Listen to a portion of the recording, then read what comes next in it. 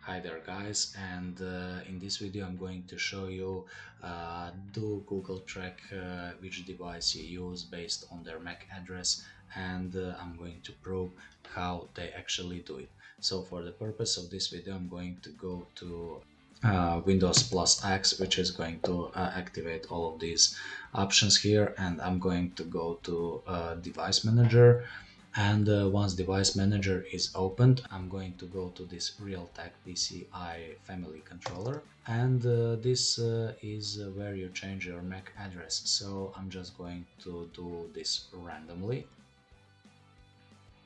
This is just some random number which uh, you can change uh, at any time. Now uh, we are going to log into a YouTube channel which is this one which is my channel and uh, then we're going to check our email.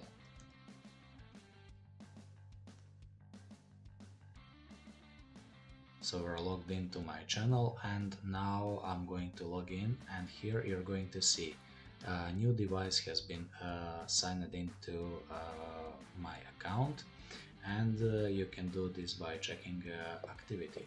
So this is from my own network, from my own computer that I regularly use and uh, Google still identifies it as a new device. So I hope this video helps you uh, in clarifying does Google track your uh, Mac ID and the answer is absolutely yes.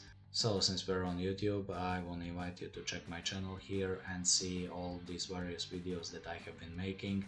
Uh, here you're going to find a lot of this uh, information based on various tips and tricks on how to get traffic and uh, how to get around through freelancing world as well as some tips and tricks in uh, graphics design which I do uh, for a hobby.